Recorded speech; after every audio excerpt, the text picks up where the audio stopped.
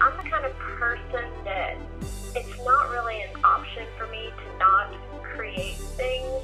I just feel like um, it's just it's something I have to do to express myself. I'm not really that great with words a lot of the time, so I feel like I do better with imagery and um, kind of um, once I can start working in more of a three dimensional way, um, I feel like I can express myself better.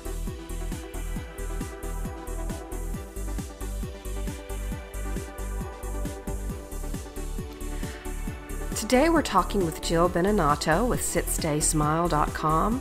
She recently organized a terrific fat book project where she invited a group of us pet portrait artists to submit pages. There were 13 of us all together, and uh, we created 14 books. Um, every artist got a book, and uh, one book will be donated for a place to bark for a charity um, auction in November. So, anyway, um, enjoy the interview excerpts from the interview we did with Jill. Thanks dog. Oh, and tell me about the Sisterhood of the Pet Portrait Artist. Now, how did you how did you decide? And by the way, I'm very honored to have been included. And um, how did you decide who to contact? And w- tell me a little bit about the what I would imagine organizational nightmare. Probably not. You're a positive person. You won't call it that. How was it trying to hurt us all into doing what we needed to do? I know it was done mostly with email, but was it pretty easy? Um, did you you know, or was it challenging, you know, to get well, everybody to get you stuff on time? You know, I guess to start, um, the way I, I, you know, I had this idea, you know, I was going online, you know, like I do. I spend hours, you know, wasting away my day going and surfing around and checking out everyone's blogs. And I just started to notice that a lot of us were all drawn to each other because of either what we did or that we just liked each other's work. You know, all these dog artists were commenting on each other's blogs, and I noticed that everyone was always going to each other's blog and being very supportive. And I loved everybody's work, and I was thinking, gosh, I wish I could afford to to really support all these different artists out here. If I could, I would order a portrait or a painting or something from every one of them because I just love what everyone's doing.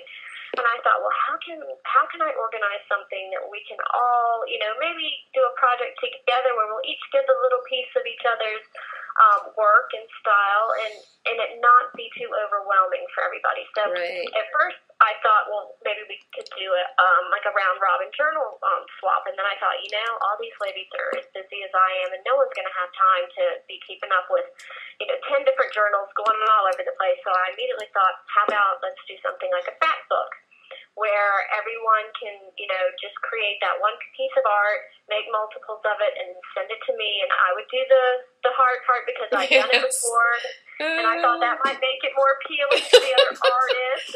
you did a great job. You did an amazing job, Jill. I, but, um, everyone was floored. You know, it's, it was a labor of love because I, I honestly have felt so honored to know all of these different people, even like you. We've never spoken on the phone before, but you have given me so much help, so many tips, so much, you know, in terms of advice that I thought, you know, let's do something that can maybe kind of bridge maybe a little bit of the gap so we all might get to know each other a little bit better and in the mm-hmm. process wind up with a really cool book with a sample of everyone's work.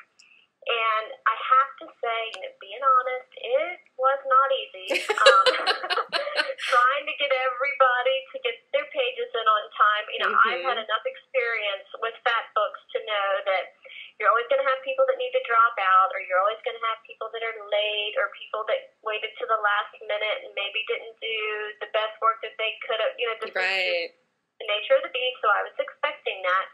And to be honest with you, I didn't mind for one minute. You know, it of course it's you know you hate to kind of come off as a pit bull that has to say, "Where are your pages? Where are your pages?"